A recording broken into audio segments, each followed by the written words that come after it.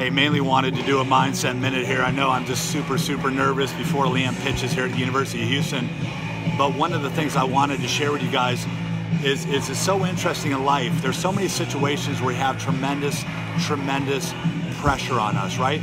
There's certain things. It could be pressure in our marriages, pressure with our children, pressure in business, which we have all the time, right? So much pressure. It's really what separates a lot of the greats from the not so great is how you handle that pressure, right? I mean, it's so crazy right now before he's going to pitch. I'm I feel like I'm about ready to get sick. But the thing is, good individuals, good individuals that perform in their marriage, perform as a parent, perform in the business, in the workplace, they love and they thrive on that pressure. And when that pressure is on, that's when they play their best game. That's when they throw their best pitches. That's when they have the best conversations. That's when they have the best pitches. Think about it.